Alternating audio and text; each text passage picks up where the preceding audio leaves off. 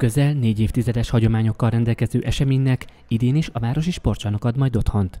Az előzetes nevezések alapján elképzelhető, hogy a rangos viadal az elmúlt évekkel ellentétben kétnapos lesz.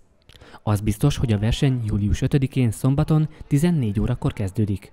A megméretés ezúttal is a legfiatalabbak bemutató mérkőzéseivel kezdődik, majd a Matyó Kupa küzdelmeivel folytatódik. Amennyiben a résztvevők létszáma indokolja, a boxolók másnap, azaz július 6-án vasárnap 9 órától is ringbe szállnak az aranyérmekért. Az indulók létszáma várhatóan csütörtökön válik majd véglegessé, így akkor derülhet fény arra, hogy egy vagy két napos pofonpartit rendeznek városunkban.